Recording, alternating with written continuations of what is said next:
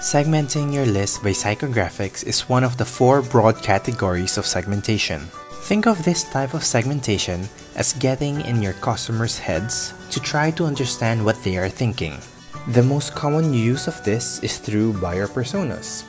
These are fictitious representation of your ideal customer profiles. For example, the topics that interests Ollie owner are different from marketer Mark. Apart from the topics, you have to choose your words carefully. They might have different meanings of the same word. For example, the marketer might only include ad spend in determining ROI, but the owner includes salaries and other tools in calculating ROI. The more specific you define your segment, the better your message will be.